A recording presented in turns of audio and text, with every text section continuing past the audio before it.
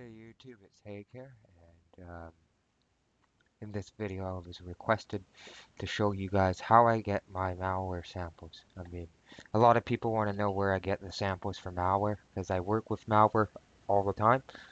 I clean people's computers that are infected with malware, and I also, uh, I also um, test malware on virtual computers, and I also uh,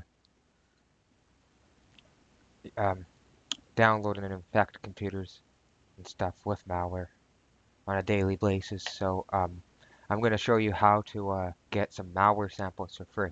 Now, before I tell you anything, I'm going to give you a fair warning here. I am not responsible for anything that happens to your computer when you download these samples.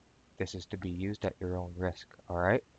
And I will be uh, recommending everyone to use a virtual computer because if you run the malware on your host computer, you're screwing yourself up. Alright, so what I use to is something called um, a VMware Workstation, and it's free. You can download their 30-day free trial off their uh, website.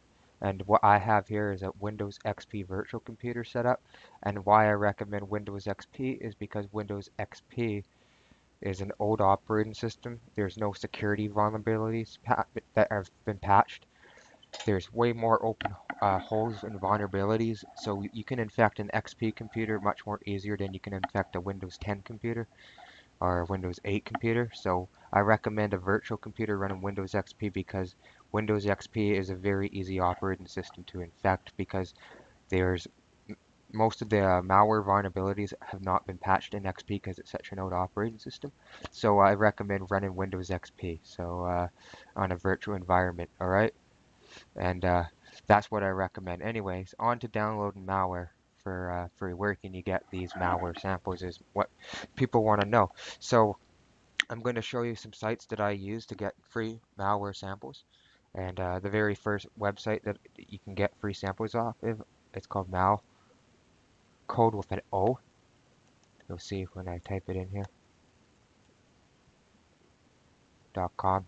If you go to this website here and click on the URL, you'll see the links and stuff right here. And if you copy that down, you can copy it in and you can paste it into the top. And what that will do is that will uh, hopefully download the malware sample. Now you're not always going to get a, a, working link. So some of these links are going to be dead. They don't always work. You have to play around with them and download them one at a time and save them. And as I said, don't open these up on the host computer unless you want to infect your computer. I'm just using my host computer to download the samples because it's fast. It's nice and fast. And then what I'll do is I'll transfer them to the virtual computer and run them on there. So uh, malware, this website here, malware code is a, a website that you can get uh, free malware samples. You copy these URLs and you paste them in and that will download the sample of the malware. And over on the uh, right here, you can see the IP or you can see uh, the report on VirusTotal at the very on this far uh, right side. You can click on one of these reports and you can uh, hopefully if that links, they're not always working here hopefully if they're working, they give you information on what this is. So this is a Trojan horse of some kind. And um, by clicking on this, you can get more information exactly about what the specific threat is. That's another Trojan. So there's various Trojans. Okay, so um, that is one website that you can go to to get malware samples. So it's called malcode with an O. And um, there's much more sites you can use. Now here's another website, probably not going to be very much help it's it's actually it used to be really good, but you can check it anyways. It's called malwaredomainslist.com, and uh, when you open this site, it's going to say that this is a war this website's for uh, security professionals and enthusiasts, and it has a lot of malware on it. So anything on here is malicious. So if you click malware domains list, you have a list of uh, URLs that are leading to malware, and on the very under, under the description, it tells you what kind of malware that is, and you can go through and you can look at it and it has the date and it says CryptoWall as you can see Trojan inside zip file and keep in mind most of these links probably won't work because they're so outdated but you may get lucky and there may be some that do work so what you do is you will copy the URL and paste it in and uh, you can see that link's dead. They don't always all work. So uh, you have to kind of pick around and find what ones you want. So um, another website you can do is uh, go to uh, VX Heaven.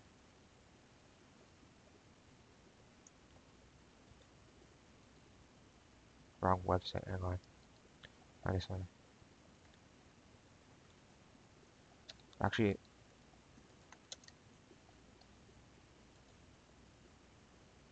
here's some, right here. Here's some more URLs you can look at.